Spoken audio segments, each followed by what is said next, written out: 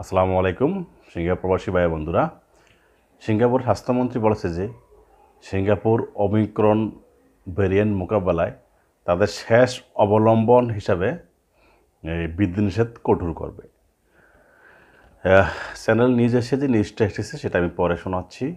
সোমবার দশ জানুয়ারি সংসদে স্বাস্থ্যমন্ত্রী স্বাস্থ্যমন্ত্রী অং ইয়েকুং বলেছেন, বর্তমান কোভিড নাইন্টিন ব্যবস্থাগুলি শুধুমাত্র শেষ অবলম্বন হিসেবে কঠোর করা হবে। সিঙ্গাপুর স্বাস্থ্যসেবা স্বাস্থ্যসেবা খাতে যখন অতিরিক্ত চাপ সৃষ্টি হবে, তখনই তারা বর্তমান ভেরিয়েন্টটা মোকাবেলা করার জন্য বিধিনিষেধগুলো আরও কঠোর করবে। তিনি কঠোর নিয়মগুলো স্থাপন করা হবে কিনা সেই প্রস্তাবে বলেছিলেন যে, এটি মাল্টি মিনিস্ট্রি টাস্কফোর্সের আশা যে, আমরা বর্তমান নিরাপদ ব্যবস্থাগুলোর ব্যবস্থাপনার ব্যবস্থার সাথে অমিক্রণ তরঙ্গের মোকাবেলা করতে পারব। যদি আমাদের বিধিনিষেধ আরও কঠোর করতে হয়, আমাদের স্বাস্থ্যসেবা ব্যবস্থা যখন তীব্র চাপের মধ্যে থাকবে, তখন এটি শেষ অবলম্বন হিসাবে স্বাস্থ্যসেবা বিধিনিষেধগুলোকে আরও কঠোর করা হবে। টাস্কফোর্স আগে বলেছিল যে বিদ্যমান নিয়মগুলো, যে গ্রুপের পাঁচজন একসাথে খাওয়া, এক গ্রুপের পাঁচজন একসাথে মিলিত হওয়া চাইনিজ নিউ ইয়ার পর্যন্ত এটা সময়কাল থাকবে। তিনি বলেন, গত বছর ডেল্টা তরঙ্গের সাথে সিঙ্গাপুর অভিজ্ঞতা উদ্ধত করে মিস্টার রং আরও উল্লেখ করেছেন যে, এটি হ্রাস পাওয়ার পরেও কর্তৃপক্ষ খুব আনন্দিত হওয়া বা অতিরিক্ত শিথিল বিধিনিষেধ থেকে বিরত ছিল। অমিক্রণ ভেরিয়েন্টের উচ্চতর সংক্রমণযোগ্য উদ্ধৃত দিয়ে মিস্টার ওয়াং বলেছেন যে, সিঙ্গাপুর ডেল্টা ভেরিয়েন্ট দ্বারা সৃষ্ট সংক্রমণ তরঙ্গের চেয়ে কয়েক গুণ বড় সংক্রমণের তরঙ্গ আশা করতে পারে যে, এই- ভেরিয়েন্টের কারণে।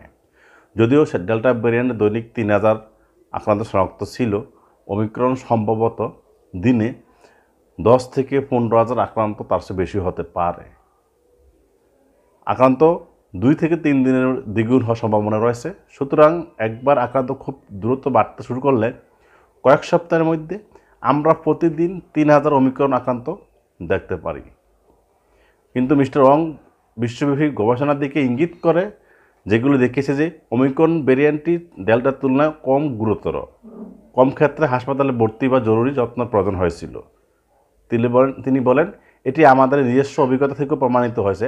সিঙ্গাপুরে এখন পর্যন্ত চার হাজার তিনশো জন অমিক্রণ সংক্রমণ রেকর্ড করা হয়েছে, যার মধ্যে ষাট বছর বা তার চেয়ে বেশি বয়সী তিনশো আটজন প্রবীণ ব্যক্তি রয়েছে।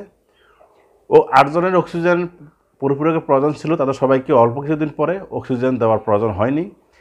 এখনও আইসিইউতে কাউকে ভর্তি করার প্রয়োজন হয়নি। তিনি যোগ করেন, যদি এই সংক্রমণগুলি পরবর্তী ডেল্টা দ্বারা সৃষ্ট বা ডেল্টা ভেরিয়েন্টে আক্রান্ত এরা। এই অমিক্রণের পরিবর্তে তাহলে পঞ্চাশ থেকে ষাট জন রোগীর অক্সিজেন প্রয়োজন হতো আইসিইউতে ভর্তি হওয়ার প্রয়োজন হতো বা মারাও যেতে পারত। কিন্তু মিস্টার ওয়াং সতর্ক করে দিয়েছেন যে, সিঙ্গাপুর অবশ্যই এই পদক্ষেপগুলিকে ব্যাখ্যা করার ক্ষেত্রে সতর্কতা অবলম্বন করতে হবে, কারণ এটি প্রথম দিন এবং প্রতিটি শেষের দেশের পরিস্থিতি আলাদা। এই দেশগুলো বিভিন্ন দেশে বিভিন্ন ধরনের পরিস্থিতি সৃষ্টি হয়েছে। তবে বর্তমান যে বিদেশগুলো আছে, এগুলো কঠোর আবহাওয়া হচ্ছে না।